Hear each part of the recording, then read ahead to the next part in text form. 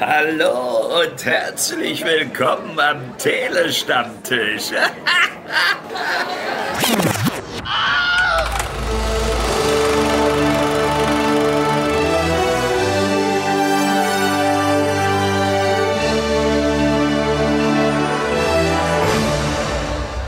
Hallo und willkommen beim Telestammtisch zu unserer Besprechung des Films Verrückt nach Figaro, der am 27. Juli in den deutschen Kinos kommt oder anläuft. Ich bin der Stu, ich habe diesen Film leider nicht gesehen, aber ich habe jemanden gefunden, der ihn gesehen hat, nämlich die liebe Schlogger. Hallo.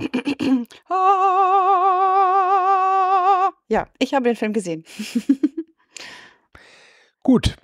Ich hoffe, das geht nicht so weiter in der Besprechung. Ansonsten haben wir ein Problem. Oh Gott. Gut, also Brasilien hat jetzt, glaube ich, schon wieder abgeschaltet. Das heißt, wir können jetzt machen, was wir wollen. Wir können auch nicht über den Film reden und stattdessen unsere liebsten äh, Toasterei-Rezepte auspacken. Ja, Käse oben, Käse unten und welches Opernlied würdest du singen, während du den Toast Hawaii in den Ofen schiebst? Denn wir haben ja diesen Film über eine Opernsängerin, den du nicht gesehen hast, aber ich schon. Möchtest du gerne die Moderation weitermachen und dann mir sagen, wie ich den Film äh, zusammenfassen und ob möchte? Äh, pass auf, da ich das Gefühl habe, dass ich im Grunde hier gar nicht richtig gebraucht werde, ähm, kann ich so viel sagen, ich könnte die Synopsis vortragen äh, vom Verleih, die habe ich nämlich hier vorlegen und die ist recht kurz und deswegen lese ich sie einfach mal vor, damit ich das Gefühl habe, ich habe heute auch etwas getan. Und zwar in Folgt nach Figaro geht es um eine brillante junge Fonds, Fonds, es fängt schon gut an, ne? Fondsmanagerin, ähm, die ihren unbefriedigenden Job und ihren langjährigen Freund verlässt, um in den schottischen Highlands ihrem Lebenstraum nachzugehen, nämlich Opernsängerin zu werden. Ist das so korrekt? Ist äh, fast korrekt, weil sie verlässt ihren Freund schon, aber sie verlässt ihn nicht, also sie macht nicht Schluss, sondern sie beschließt einfach, dass sie für ein Jahr mal in die schottischen Highlands zieht, um Unterricht bei einer miesepetrigen alten Opernsängerin zu nehmen. Und sie ist mit ihrem Freund schon noch zusammen. Aber äh, sie geht halt aus London raus in die schottischen Highlands, genau, für ein Jahr. Ist so ein bisschen wie bei dir, du hast ja den Titelstammtisch auch verlassen, um irgendwo was anderes zu machen und bist dann auch zurückgekommen. Ne? Ja, ich bin in die Berge gegangen, habe mich unter einen Wasserfall gestellt und als ich zurückkam, haben plötzlich alle von Corona gesprochen. Ich weiß überhaupt nicht, was das ist. Ich hatte auch plötzlich zwei Kinder, ich weiß gar nicht, wie das passiert ist. Und dann habe ich beschlossen, jetzt komme ich wieder zum Telestammtisch zurück. So, genauso ja. ist es auch in dem Film. Ja, das könnt ihr dann alles lesen im Verrückt nach Telestammtisch. Ähm, das wird dann irgendwann mal erscheinen. Aber jetzt geht es um Verrückt nach, ich will immer Mary sagen, nein, nach Figaro. Und ich habe im Vorfeld den Trailer gesehen, der sah ganz nett aus. Und, was ich aber toll fand, die Hauptrolle spielt Danielle MacDonald. Die kennt man vielleicht aus so Filmen wie Patty Cakes. Äh, eine, wie ich finde, ganz, ganz tolle Schauspielerin.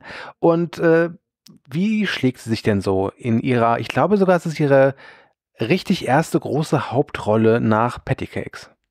Ich kannte weder die Schauspielerin noch kenne ich jetzt, wo du sagst Pattycakes. Ist das eine Komödie? Ist das eine Serie? Äh, Pattycakes ist eine Komödie, da spielt sie eine junge Dame, die versucht, Rapperin zu werden, was aber erschwert wird einfach durch ihre, ja, ihre Physis, weil sie eben nicht dem typischen Schönheitsideal äh, angehört. Außerdem hat sie noch mitgespielt, Nebenrolle in Skin und in Bird Box. Da hast du sie vielleicht gesehen. Da ah, Bird Box habe ich gesehen, aber kann mich da nicht an sie erinnern. Ist ja auch egal. Also in ja. dem Film will sie ja dann auch Musikerin werden und zwar möchte sie möchte ja Opernsängerin werden und die Rolle hat mir ziemlich gut gefallen, weil sie eine sehr starke Frauenrolle repräsentiert, die einfach zu dem steht, was sie machen möchte. Also sie sagt auch zu ihrem Freund irgendwann, du, das ist das, was ich machen möchte. Also entweder unterstützt du mich da drin oder du kannst dich ins Knie ficken. Und das fand ich sehr erfrischend.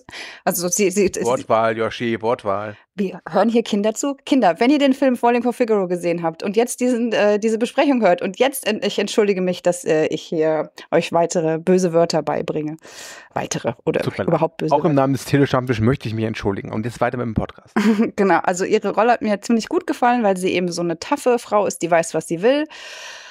Äh, ja, im Gegensatz zu ihrem ähm, männlichen Counterpart, den wir noch gar nicht angesprochen haben. Wird er denn im Trailer gezeigt, lieber Stu? Im Trailer werden relativ viele äh, Counterparts nächstes Mal gezeigt. Äh, und einer davon scheint auch so ein bisschen ihr, zumindest so gerät es jetzt später, äh, so ihr neuer Love Interest zu sein. Es ist ein Typ, der in einem Pub als Koch arbeitet und sie wohnt über diesem Pub und in der Nähe des Pubs wohnt auch ihre Gesangslehrerin. Und dieser junge Mann, der diesen Pub da betreibt, oder er glaube ich, er kocht da nur, der will auch Opernsänger werden oder irgendwie sowas. Oder es geht, hat Gesangsunterricht. Ich wurde aus dem Trailer nicht so ganz schlau. Ja, nee, das ist im Prinzip schon richtig. Also sie kommt da zu dieser alten äh, Opernsängerin, die natürlich ganz klischeehaft jetzt total ähm, verbittert da in den Highlands sitzt und früher mal eine Karriere hatte und jetzt äh, sich mit Jungvolk abgeben muss, die auch überhaupt keinen Bock auf Studenten hat, aber die eben nehmen muss, weil sie irgendwie Kohle braucht. Sie nimmt die äh, Millie auch nur unter ihre Fittiche, weil ihr eben sehr viel Geld von ihr angeboten wurde. Das weiß die Millie auch. Und als sie da ankommt, stellt sie eben fest, also Millie stellt dann eben fest, dass es noch den Max gibt. Das ist der andere Schüler, der da aber schon seit fünf Jahren ist, der eben auch gerne Opernsänger werden möchte, der da seit fünf Jahren wohnt und eben ein bisschen seinen Lebensunterhalt verdient, indem er in dem einzigen Pub des Ortes, der Ort scheint auch nur zwei Häuser zu haben, neben dann, nämlich dann eben als Koch arbeitet und äh, ja, genau, und sie dann auch bekocht. Also die beiden, das ist, er ist so ihr Love Interest, aber gleichzeitig auch ihr Konkurrent, denn beide wollen den gleichen Wettbewerb gewinnen. Und es ist so ganz typisch für so einen Liebesfilm. Sie hat ja eine Beziehung zu Hause, aber hat eben auch diesen Typ, der sie am Anfang total doof findet und was entwickelt sich daraus und wo führt es hin? Darum geht es in diesem Film so ein bisschen. Aber nicht nur. Ich habe eine leichte Ahnung, wie es enden wird. Aber die, das werde ich jetzt hier nicht äh, aussprechen, denn wir wollen ja hier niemanden spoilern. Mhm. Ähm, es sieht mir aber sehr danach aus, dass es wirklich so ein Film ist, wo ich glaube, dass du den Trailer gesehen hast, dann weißt du schon ungefähr, was dich erwartet, was nichts Schlimmes sein muss. Ähm, deswegen mal so einfach so ganz grob raus, so, wie war es denn jetzt? Du hast ihn ja schon gesehen, kamst du vergnügt aus dem Kino, warst du ja etwas enttäuscht. Ähm, du hast mir ja gesagt, dass du diese Aufzeichnung, also wir nehmen das knapp einen Monat vom deutschen Kinostart auf, gerne schnell hinter dich bringen möchtest. vielleicht auch, weil du Angst hast, weil der Film so in Anführungszeichen nichtssagend ist, dass er vielleicht nicht so lange in den Synapsen hält oder wolltest du einfach nur gerne mit mir reden? Ja, ich will Jetzt natürlich immer mit dir reden, lieber Stu. Äh, dafür Richtige ist mir Antwort, jede Ausrede recht. Aber ja, ich hatte das Gefühl, dass ich schnell darüber sprechen möchte, weil ich nicht weiß, wie lange ich dazu alles nicht erblassend in meinem Gehirn behalte. Ähm, der Film. Also er ist schon so, wie man sich vom Trailer her erahnen kann, hat aber kleine Nuancen gehabt, die mich überrascht haben. Also zum Beispiel eben, dass sie so eine starke Frauenfigur ist und nicht so ein typisches kleines Mädchen, was, keine Ahnung, sie ist ja auch eine super erfolgreiche Fondsmanagerin. Also sie will einfach nur da raus, weil sie eben Bock auf was anderes hat, was ich ja im Prinzip auch ziemlich geil finde. Dann dieser, ähm, dieser Max, für den sie scheint, also ja, diesen Love, der ihr Love Interest ist, ähm, da ist auch nicht ganz klar, was sich daraus entwickeln wird, weil sie eigentlich mit ihrem Freund eine ziemlich gute Beziehung hat. Und das fand ich auch dann interessant zu sehen, ja, wo will der Film denn jetzt hin? Weil es wird nie gezeigt, dass ihr Freund ein Arschloch ist oder sie irgendwie scheiße behandelt. Im Gegenteil, der unterstützt sie total eigentlich. Und ist total, der feiert auch ihre, ihre, ähm, ihre Gesangserfolge, sag ich mal, die sie dann eventuell ja auch hat. Mhm. Äh, aber das, das ist schon, aber das ist, das ist wirklich interessant, weil jetzt nur ausgehend vom Trailer fand ich, dass mir der Trailer suggeriert hat, der Typ ist ein Arschloch und es ist gut, dass sie ihn verlässt. Interessant. Ja, sie verlässt ihn ja nicht, genau. Sie bleibt ja mit ihm zusammen und er unterstützt sie da ja. total. Ja. Hm, okay, das, das äh, hätte ich jetzt natürlich nicht Wäre gedacht. Wäre zu leicht gewesen, genau, genau. Ja, okay, okay, okay. Und es ist auch schön, dass der Titel ja Falling for Figaro oder Verrückt nach Figaro eben ein bisschen doppeldeutig ist, weil es wird, es wird sehr gut gezeigt, wie sehr sie Musik berührt. Also schon bevor sie da mhm. nach Schottland abhaut, sitzt sie schon vor YouTube und hört einfach äh, Opernsängerin zu oder sie sitzt in der Oper, da schläft ihr Freund halt ein. Er, er teilt ihr Interesse halt nicht und ihre Leidenschaft. Das ist vielleicht ein Problem in Anführungsstrichen, aber er ist kein Arschloch zu ihr. Mhm. Und man sieht richtig, wie es sie berührt. Sie sitzt weint davor mit gläsernen Augen sie ist total verliebt und verrückt eben nach der Musik. Und deswegen konnte ich auch nachvollziehen, wo ihr Interesse an diesem Max herkommt, weil der eben recht gut singen kann. Und das ist auch alles, was für diesen Menschen spricht, denn da kann ich schon zu einer kleinen äh, Kritik kommen an diesem Film. Uh, okay. Jetzt, jetzt werden die Samthandschuhe mal ausgezogen. Okay, mhm. ja, hau raus. Was gibt's denn, was du beanstanden möchtest? So, Samthandschuhe sind ausgezogen. Und zwar, der Max wird gespielt von Hugh Skinner. Ich habe während des Films kam ich nicht drauf, woher ich den kannte, habe dann danach nachgesehen. Und zwar kannte ich den aus Fleabag. Das ist ja die tolle britische Serie, auch mit einer sehr starken Frauenrolle. Und er spielt da ihren sehr jammerlappigen Freund, der ähm, immer überdramatisch die Wohnung aufräumt, wenn sie ihn mal wieder verlässt, aber trotzdem immer zu ihr zurückgekrochen kommt.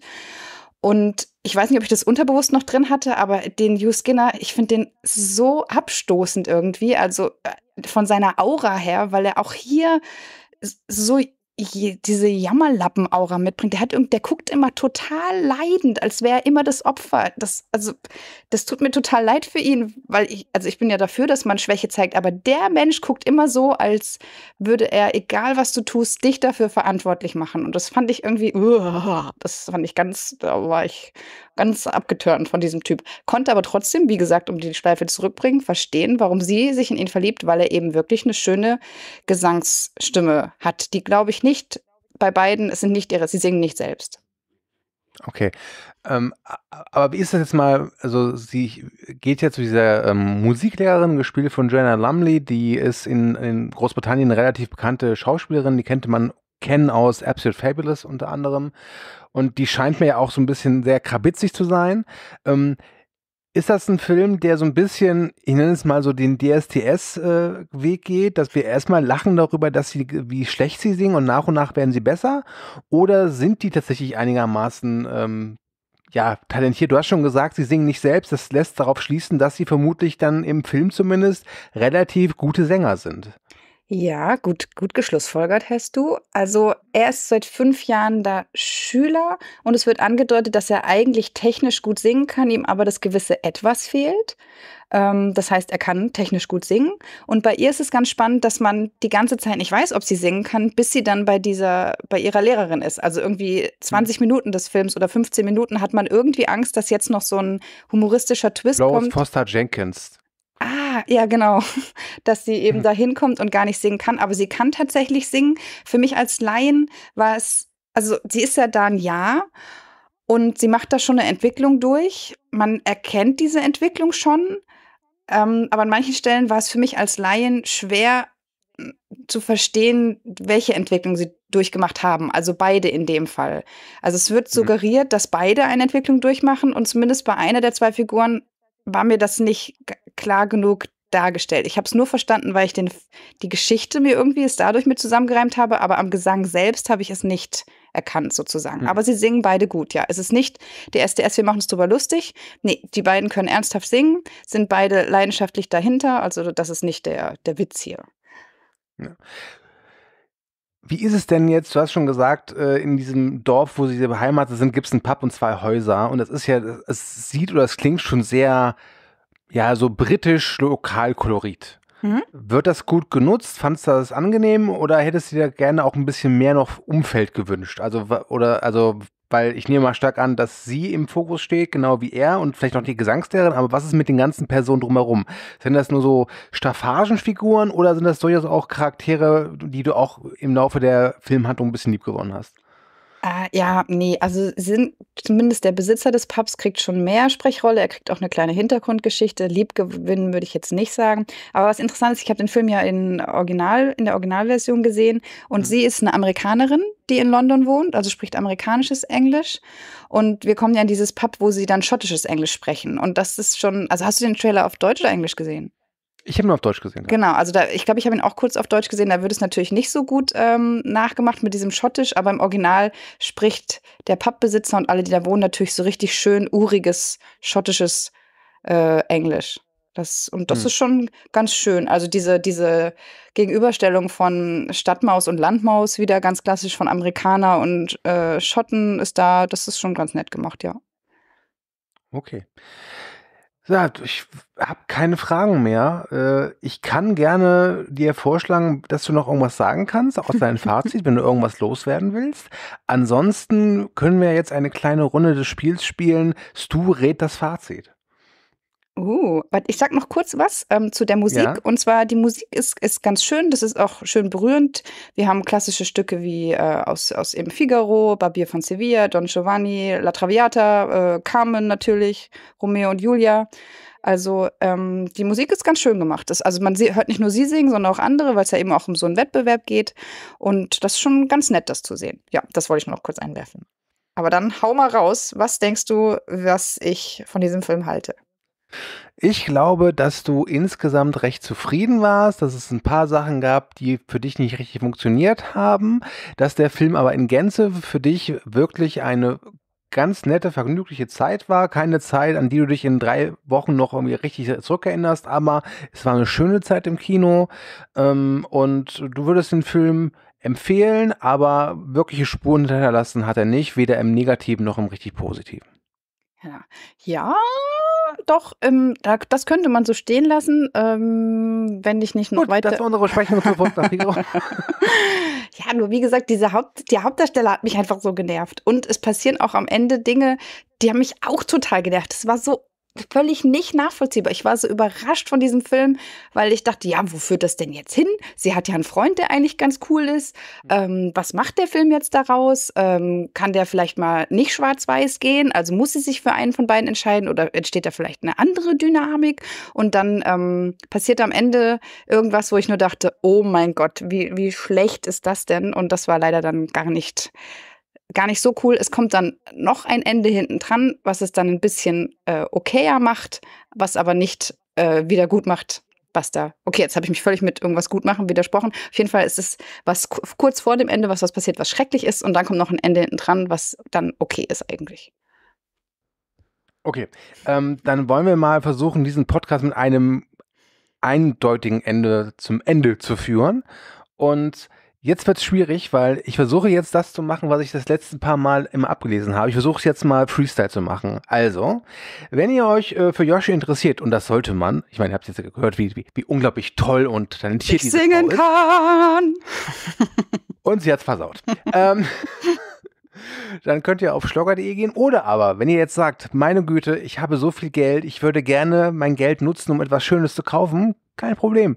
Schloggershop.de, da könnt ihr ihre Bücher und Kalender und hoffentlich niemals Alben von ihr kaufen.